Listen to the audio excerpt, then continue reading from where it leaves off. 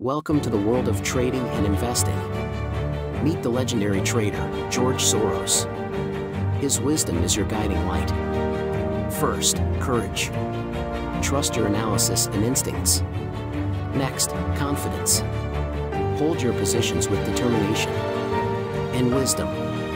Knowing when to secure gains or cut losses. Embrace these qualities. These principles are the core of George Soros' approach. Embrace these qualities to navigate the market's twists. For more insights, like, share, and subscribe.